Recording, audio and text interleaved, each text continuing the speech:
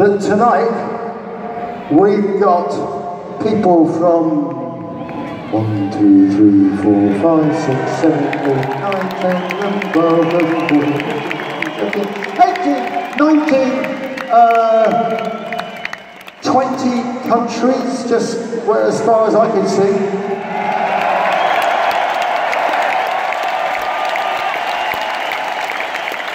That's not including Chelsea supporters, you know? Oh, you're so easy to wind up. Uh, anyway, um, but it was a rock dive, wasn't it? I don't know if you saw the match. Anyway.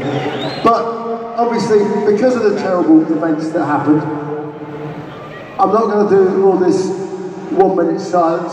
We've had plenty of silence, and we've had plenty of time to think about it. And I think you know, and I know, that when we're all together like this, it sends a message of love, of peace, and joy, and you will not fuck us up.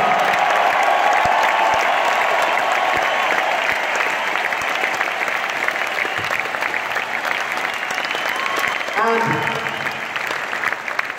ah, go ask, because they were, they were there in Cardiff. I don't know how they got there, but uh, anybody here from Syria?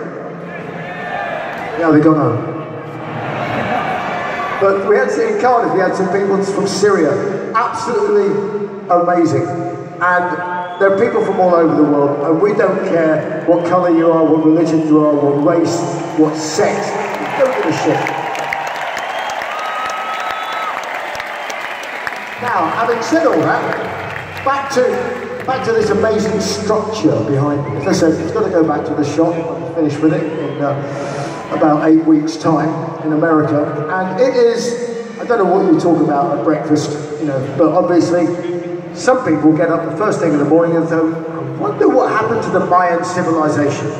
don't know if this ever happened to you, but clearly, on occasion, it does go on. And the answer is nobody really knows. This is our idea of what